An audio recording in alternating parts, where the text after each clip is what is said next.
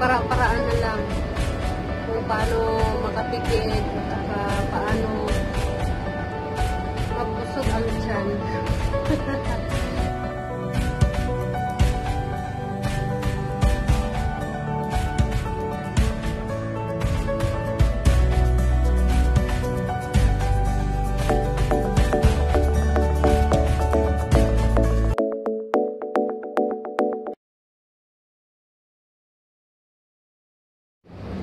Hello, kamusta kayo? Welcome back to my channel. Ah, ngayon, gagawa tayo ng longganisa. So, ituturo ko sa inyo kung anong ingredients nyo, kung paano gumawa ng longganisa. So, sana ma-enjoy nyo at ma makuha na nyo ng kulot. So, ganito siya.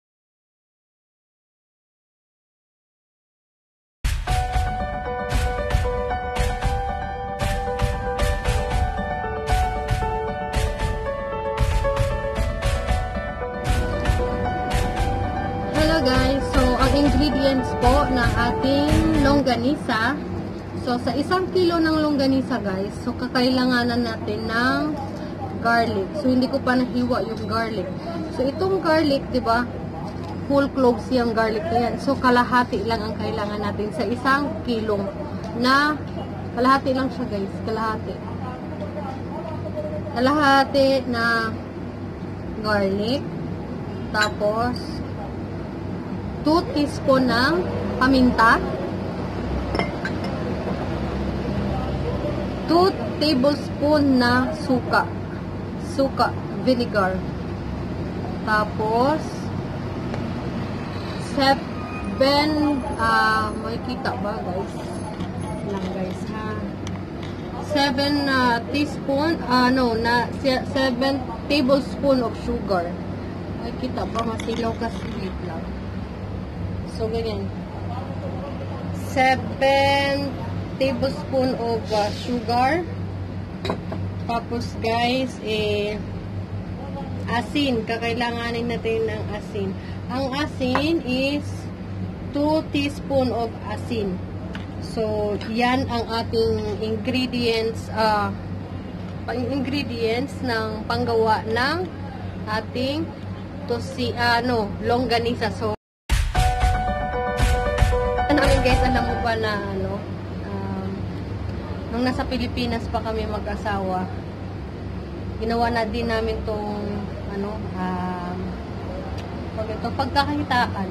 Kasi syempre, mga kapitbahay namin may mga anak, may mga nag-aaral, so gusto din nila na ano, kasi alam nila kung sinong nagawa, so alam din nila na malinis, kaya marami kaming order. A few moments So, later. since wala kaming ah, plastic na panglongganisa talaga, so ang gawa ko, yung plastic na lalagyan ng mga sibuyas dito, pinuputol ko siya.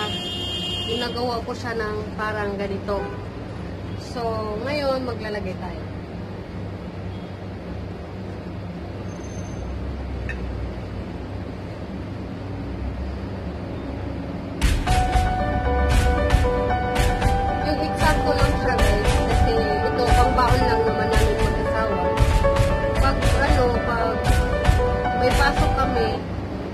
Nagbabaon talaga kami kasi mahal sa labas. Tapos, ano, ngayon, mahirap kasi nililes yung sahod na namin dahil nga sa COVID. Kaya, para-paraan na lang kung paano makatipid at saka paano mabusog ang tiyan. so, ganito siya. Ganyan. Tapos, gaganon mo, iro-roll mo lang siya. Tapos, gaganyan. Yun. Tapos na. Tapos, pag magluto ka, tatanggalin mo lang itong plastic, tapos luto diretso. Ganon lang siya. So, ganyan. So, ito yung kami, kanina pa ako nagbalot. Ito yung finished product niya, guys. Yan ang finished product. Tanggalin nyo lang itong yung plastic. Tapos, ito siya, yung mix niya. Yan. Yan lang siya, lagay nyo lang ng plastic. Tapos, yun na yun. So, sa mga may anak dyan, may mga anak she. So, pwede to. Ah, save pa kayo. Tapos, alam nyo na ano pa, maganda pagkagawa at malinis.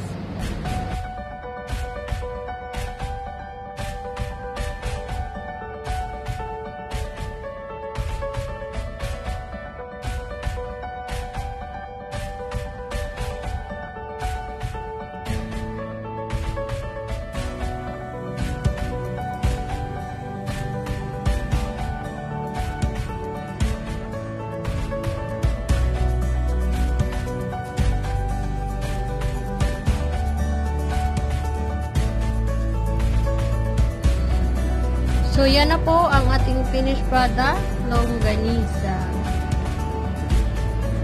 So, yan. May pambao na kami. Sarap pa. Sana nag-enjoy kayo at may natututunan kayo sa akin. So, don't forget to like, share, and subscribe. Bye-bye. Have a nice day, guys.